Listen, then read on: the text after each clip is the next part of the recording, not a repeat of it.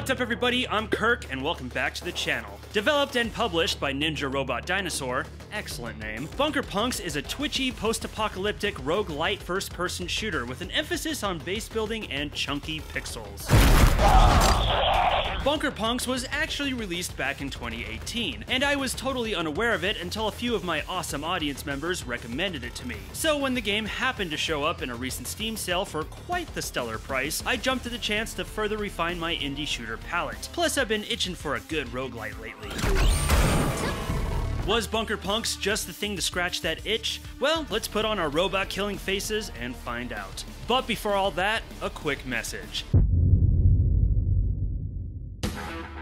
Hey, I'm gonna take a wild guess and say that you're watching this video because you love first person shooters. Am I right? Well, then you'd be happy to hear that there is a feature length documentary on the horizon all about the genre we love so very much. First person shooter, the documentary, is aiming to chronicle the entire history of FPS games, from Maze War to Eternal. Tech milestones, gameplay, design, culture, the birth of deathmatch, all of it. This three hour, yes, three hour documentary is coming to us from the same team behind other acclaimed pop culture docs, like The Last Action Heroes and In Search of Darkness, Part 1 and 2.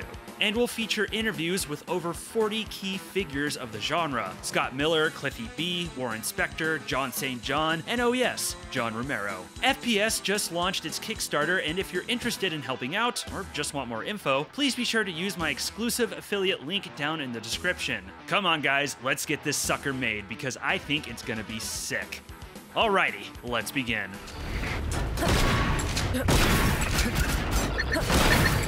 Bunker Punks takes place in the near future, and what do you know? The world has gone to hell. Wars, food shortages, and pandemics have devastated the world's population. Fearing a massive loss in profits, the corporations of the world evacuate their shareholders and employees into fortified cities and underground bunkers, while the rest of humanity suffers the fall of civilization. After the fall, survivors of the apocalypse band together and form gangs with the sole purpose of decimating these bunkers and all that stand within them. These gangs are known as bunker punks, and you control the Zero Sum Gang, a group of misfits hungry for some bloody corporate takedown.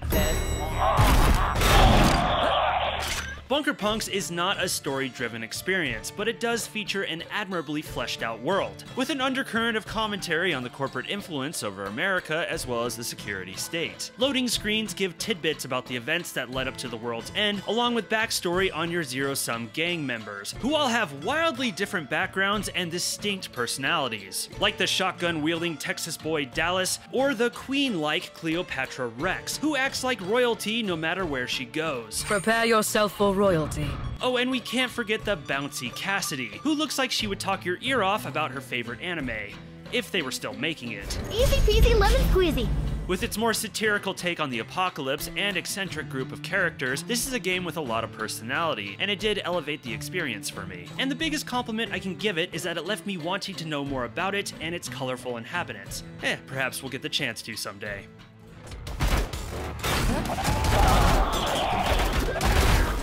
When you first begin Bunker Punks, you'll find that it's very much a standard first person shooter, and a solid one at that. Shooting mechanics have a good sense of impact and rhythm, and your punk is quick on their feet with a good hop in their step. You can get into some nice flow with the shooting. I quickly found myself bunny hopping about and weaving through enemy projectiles. The style of first person shooting I find the most satisfying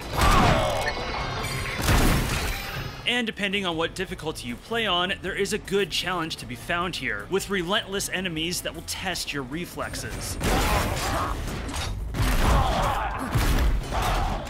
However, it's after you beat the initial levels where the game gets real interesting, opening up the bunker building mechanics. Located under an abandoned gasoline station, the player is able to build up their own bunker in between the game's missions, or in this case, raids, in a manner similar to that of the base building of XCOM or even Fallout Shelter. Players can build new rooms for their bunker with the credits they collect during raids, and within those rooms they can purchase upgrades for their punks. Build an infirmary and you can upgrade your punk's health, as well as more elaborate upgrades, like healing in the elevator between floors of a bunker. Build a firing range and you can improve your weapons, make them stronger. Build a gym and you can improve your stats, like the punk's speed and how many items they can carry in their backpack. In truth, the bunker building is really an elaborate upgrade menu with the individual rooms serving more as skill trees than habitats. Don't expect to be able to build some sprawling underground metropolis and get all simmy here. It's a cool idea though, and does add to the game's personality. Plus, I appreciate how it limits the player. For example, each room has the possibility of up to 5 upgrades, but you can only build 3, making the player think about what kind of build they want for each run.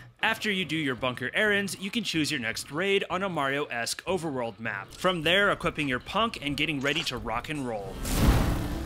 Raids are made up of several floors the player will have to clear in order to be victorious. Obviously, if the player dies, they'll have to start that raid over with another punk. Lose all their punks, and it's game over, forcing them to start over from scratch. Each floor you raid in whatever bunker you choose is symbolized by the type of loot you are most likely to find on it, giving the player the chance to choose their mission according to their needs. So, Green Cross medical floors will give you more health, Yellow Shield security floors will give you more weapons and armor, Eyeball logistic floors give you more more credits, and Purple Beaker R&D floors drop more tech, which are crucial.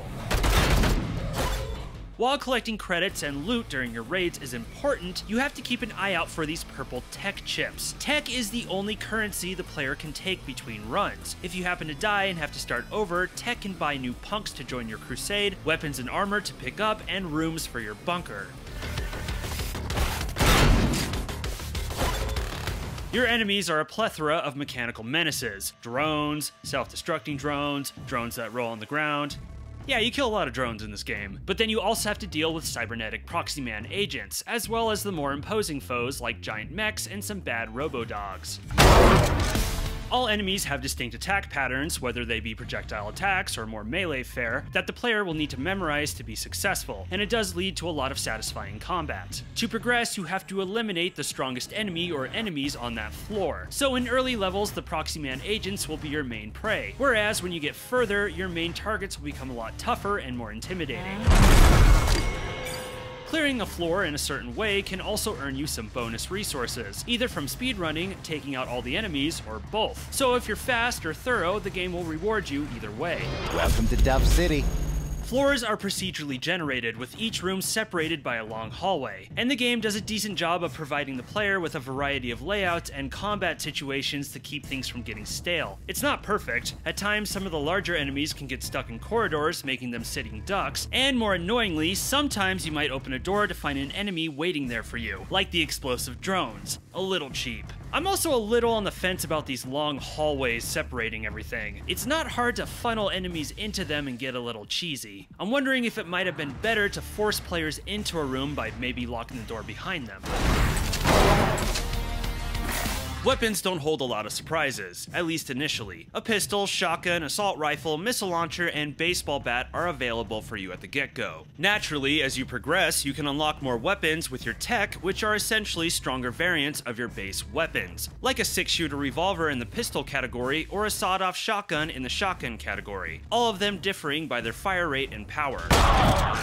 For the most part, the weapons are fun to use across the board, but personally, I gravitated towards the shotguns, rifles, and explosives, specifically the assault shotgun, hunting rifle, and missile launcher.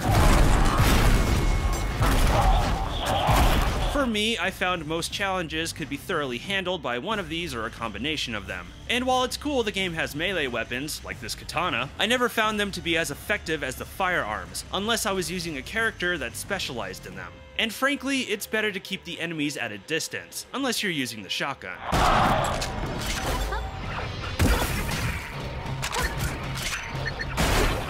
Each punk differs by their stats and abilities, with some more suited to certain weapons than others, like Royce, who is geared towards melee weapons, and Molly, who is an ace with pistols. Each punk also has their own special ability that can be activated when this meter fills up on the bottom left, with up to 3 charges total, 3 uses. These aren't anything mind-blowing, a flash in the pan ability often to buy the player a little bit of slack. For example, Cleopatra can freeze enemies for a second, and Dallas can throw up a shield that will absorb just one hit. When you begin the game, your character's special abilities are not going to make that much of a difference. Further in though, you can unlock the passive abilities for your punks, which are a lot more helpful. These are things like Cassidy being able to double jump, and Dallas gaining more health from pickups. Ultimate abilities though are where it's at. Only usable when the special meter is all the way full, these abilities range from stronger forms of the base special attacks to one-hit kills as seen with Cleopatra.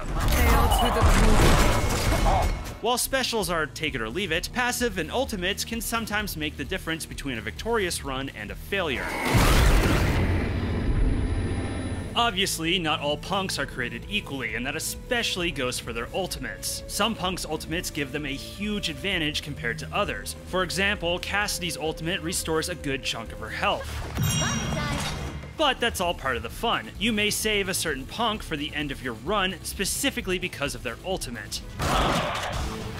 In general, Bunker Punks does hit a sweet spot of balancing its tight FPS combat with its roguelite mechanics. I found myself addicted to the combat loop and definitely hooked to the grind for better upgrades. Sadly though, it will leave you wanting more. After a good 10 hours of playing, I suddenly found that I had purchased all of the tech upgrades with the only challenge ahead of me being the harder difficulty. Yes, I know there's a reason it's a roguelite and not a roguelike, but I guess I couldn't help but feel it could have been pushed further. Not necessarily in terms of more upgrades upgrades and loot, but in terms of giving the player more things to do, and more obstacles to keep them on the edge of their seat. For example, I like that the missions are a good speed course of carnage, but I wondered if it would have been possible to give the players optional side objectives, like kill a certain amount of an enemy type or collect a certain type of loot for bonus credits. Perhaps an optional risky side bunker where the combat is more intense, but the loot is better. Status effects would have been cool to have here too. Basic ones like poison or slowing down the character would have been great, but an obvious one would have been to take their abilities away for a short period of time. I'm not saying I'm unhappy with what's here. This is me saying I want more of it. I would have happily put another 10 or 20, 30 hours into this. That's how much fun I was having. Overall, I'd say in terms of an FPS, this game hits the mark. In terms of a roguelite, it's great until it runs out of steam.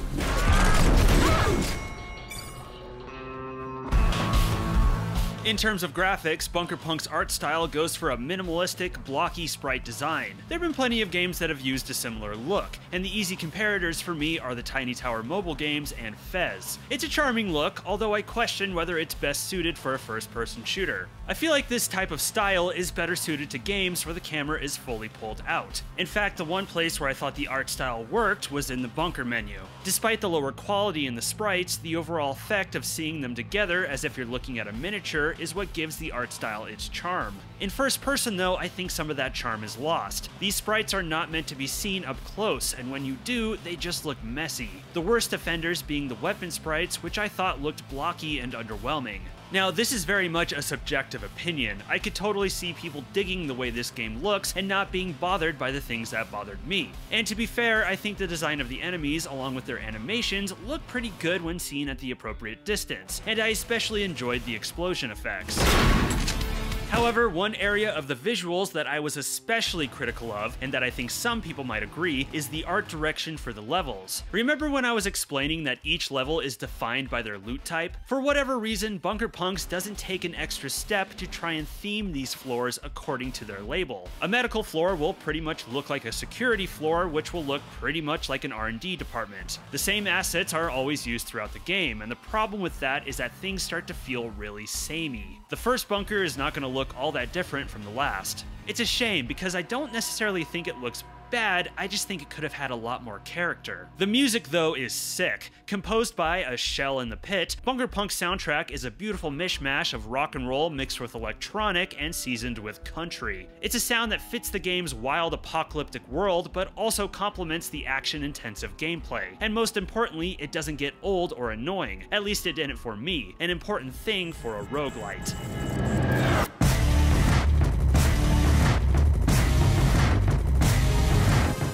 Bunker Punks is a cool gem. Despite a few issues, it's a solid shooter and a solid roguelite, even if it's not the deepest. It's the type of game you can have a great afternoon or two with, or a fun thing to play in bursts whenever you have a little free time and just need to jump around and shoot something. It's also a game that I hope gets a sequel someday. I think there's a good foundation Ninja Robot Dinosaur, seriously great name, have built here, and I feel like there's a ton of room to build upon it, not only in terms of the rogue elements, but also in the shooting mechanics. The dev is currently working on their next original IP, so who's to say what the future of Bunker Punks is? But I am gonna cross my fingers for a return to the Bunker Wasteland.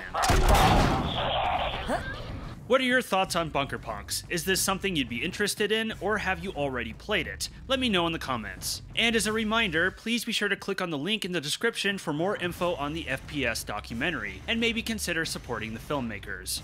If you enjoyed the video, please be sure to like, subscribe, and ring the bell for notifications on future uploads. It's a couple clicks for you, but a massive help for this channel. I'm Kirk, and thank you for watching this video. Stay safe out there.